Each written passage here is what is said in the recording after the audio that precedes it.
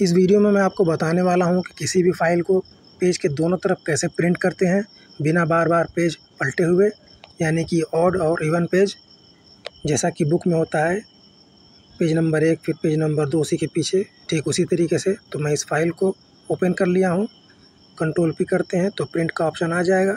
पिछली बार मैंने booklet print किया था तो यहाँ पर बुकलेट शो हो रहा है। यहाँ पर साइज़ कर लेंगे। साइज़ के ऊपर मोर ऑप्शन दिया हुआ है, उस पर क्लिक करेंगे। तो ऑड और इवन पेज का ऑप्शन आ जाएगा। तो यहाँ पर देखिए ऑड पेज उसके नीचे इवन पेज दिया हुआ है। आप कोई सा भी चूज़ कर लें तो मैं ऑड पेज को चूज़ कर लेता हूँ। बात एक ही पड़ेगी, चाहे ऑड पहले प्रिंट करें या इवन प्रिंट करें तो मैं पहले ऑड ही प्रिंट करता हूँ। तो अब मैं प्रिंट का कमांड दे देता हूँ। इस फ़ाइल में पंद्रह पेजेस हैं और आउट करने पर आठ पेजेस बने हैं। वीडियो ज़्यादा लंबी ना हो जाए, इसीलिए मैंने वीडियो को फास्ट फॉरवर्ड कर दिया है, ताकि वीडियो छोटी से छोटी बने।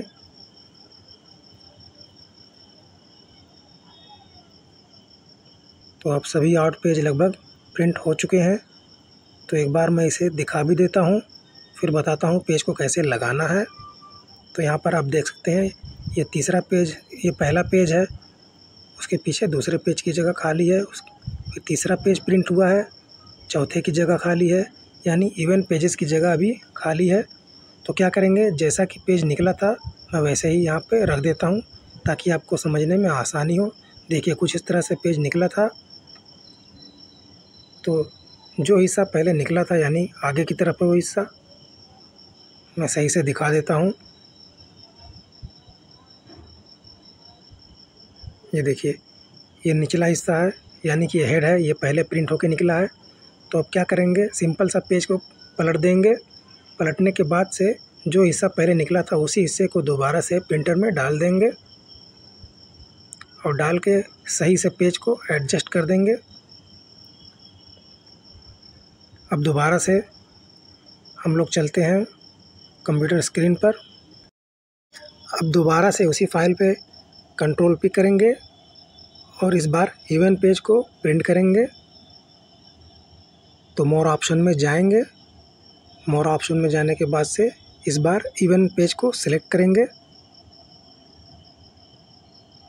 सेलेक्ट करने के बाद से प्रिंट का कमांड दे देंगे।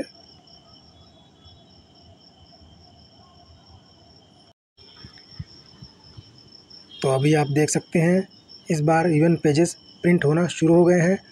उसी पेज के पीछे की तरफ़, जो कि ब्लैंक पेज बचे हुए थे। इवन पेज की जगह, जो कि खाली थी। तो इस तरह से आप पेज के दोनों तरफ़ बड़ी ही आसानी से बिना बार बार पेज पलटे हुए प्रिंट कर सकते हैं। देखिए, जो पेज खाली था, उसके पीछे प्रिंट हो चुका है।